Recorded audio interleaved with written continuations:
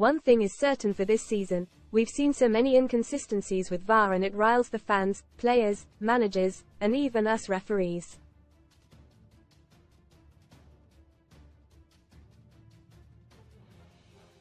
In Law 11, just being in an offside position is not an offence in itself. But does the forward become involved in active play, interfere with the defender, make a movement to play the ball?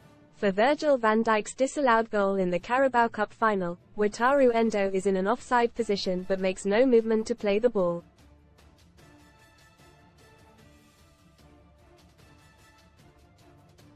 So does he become involved in active play by blocking Levi Colwill?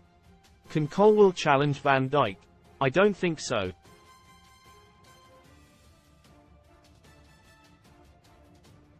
Read more football NEWSWELLI Never Keen baffled as Neville says he wastes 98 minutes a week on mundane texting habit welcome offer the Sun players back. Sign up now for the chance to win 500 free spins but look at Burnley v Luton, where the Luton forward clearly blocks the keeper and it's allowed.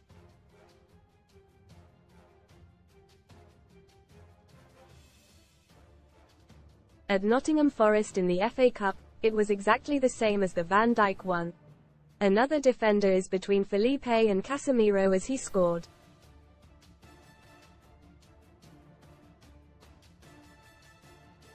People will say, in that position Rafael Varane was involved in active play because defenders knew he was there.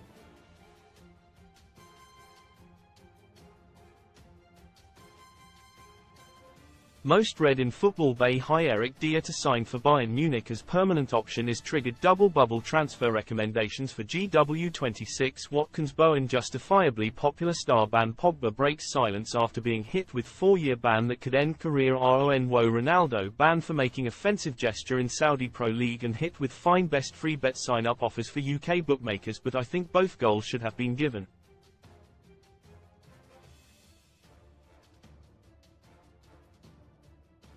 Van Dijk and Sterling have goals ruled out by VAR in frantic final.